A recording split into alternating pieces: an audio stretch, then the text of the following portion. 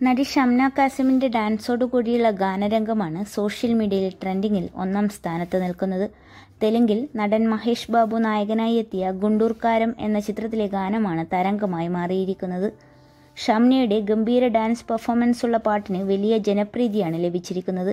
അതേസമയം ഇങ്ങനെയൊരു അവസരം തന്നതിന് നന്ദി പറഞ്ഞെത്തിയ ഷംനയുടെ പോസ്റ്റിന് വലിയ സ്വീകരണമാണ് ലഭിച്ചിരിക്കുന്നത്.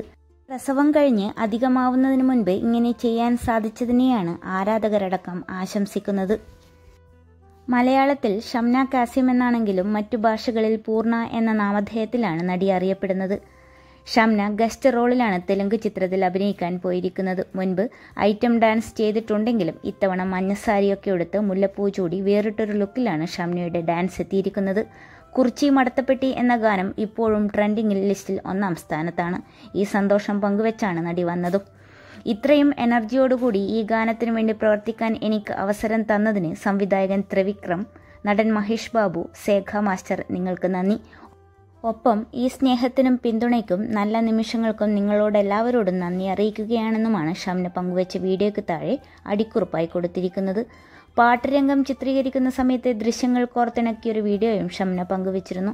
ലൊക്കേഷനിലേക്ക് വന്നപ്പോൾ മകനെയും കൂട്ടിയ നടി ഇടവേളകളിൽ കുഞ്ഞിനെ പോയി പരിചരിക്കുന്നതും ശേഷം സിറ്റിലേക്ക് മകനെ കൊണ്ടുവന്ന് താരങ്ങൾക്കൊപ്പം നിന്ന് ഫോട്ടോ എടുക്കുന്നതുമൊക്കെയാണ് വീഡിയോയിലുള്ളത്.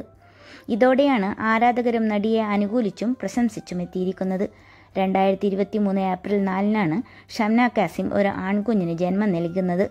മകന് ഒരു വയസ്സ് പോലും ആവുന്നതിന് മുൻപാണ് കിടിലനൊരു ഡാൻസുമായി നടിയെത്തിയിരിക്കുന്നത്. അതുകൊണ്ട് തന്നെ ഗർഭകാലത്തിന് ശേഷം ഇത്രയും എനർജറ്റിക്കായി മൂവ്മെന്റ്സ് നടത്താൻ നടിക്ക് സാധിച്ചതിനെയാണ് ആരാധകർ അഭിനന്ദിക്കുന്നത്. ഷംനയുടെ ഓരോ ചുവടുകളും അത്രയും പവർഫുള്ളായിട്ടുള്ള പ്രകടനമായിട്ടാണ് തോന്നുന്നത്.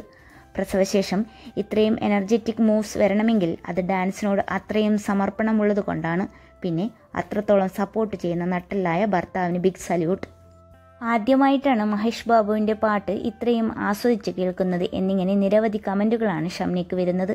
അതേസമയം നടിയെ വിമർശിച്ചും ചിലരെത്തുന്നുണ്ട്.